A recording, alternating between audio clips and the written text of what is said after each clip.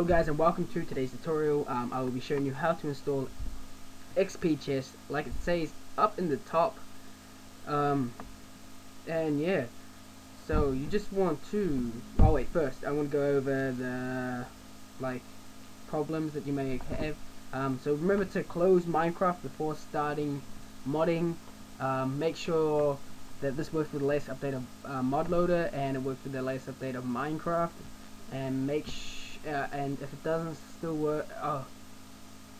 Yeah if it doesn't still if it still doesn't work then make oh then make sure to watch this tutorial again and make sure you've installed it correctly. Um, and sometimes mods don't um, clash well with other mods so yeah. And if the mod isn't updated yet it's not my fault so I'm sorry. Um, but let's get right into it. So first you want to come over to this address right up top here um, link will be in the description and you will be at the top and you're just going to scroll down until you see an update with the latest it should say MC 1.2.4 whatever the latest update of Minecraft that's out. So this will work for every single one. Um, then 1.2 point, uh, 1.3 or whatever version it's up to. Um, and you just want to click on the media Mediafire it may change but for now it's a media Mediafire and it will take a while to load and I might do a jump cut here. Welcome back guys. Um, so yeah once it's done you just want to click the download button right there in the middle on Mediafire and then once it starts to download it will download down there if you're using um, Google Chrome. But yeah so once it's downloaded you just want to open it up. Um, you just want to drag it to your desktop or somewhere where you can access it easily. You want to come down here and type in run. Now you wait for it to come up and it will be this blue thing. So run is spelled R-U-N if you don't know that.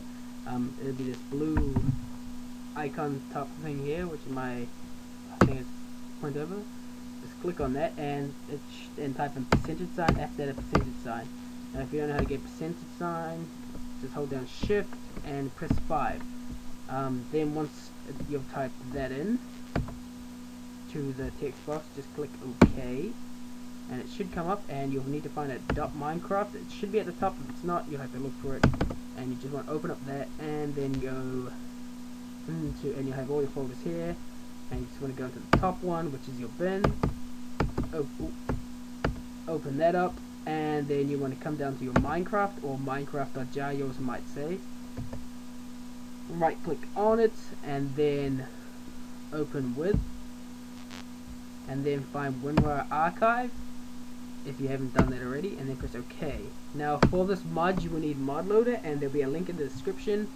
And yeah um, so if you've installed mod loader already you probably already deleted the meta.inf um, but yeah if you haven't just delete that um, so just click delete. And then go yes and it will start to delete it. And once you've deleted that this mod is simply a drag and drop. Just open it up. Um, drag over these files and then drag it right in there. Make sure you don't drag into any folders and then just press ok. And it should all be in there and that's how you install this mod. So yeah. Uh, if you don't know what this mod is it simply like allows you to deposit deposit your XP into a chest. So if you die you can just go to your chest and take it out. And basically it's a pretty good mod. Um, uh, it's, uh, it's a new mod. It's just like it's still in development I think. Um, I was having a look at it and I will do a gameplay on it once I'm on the other computer because this computer is too slow. So yeah. So that is how you install this mod. Simple and easy, yet elegant. Um, so that is all for now, guys.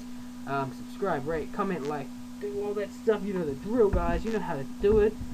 So bye. Have a beautiful time. And peace out, bitches. I will be back soon. And yeah.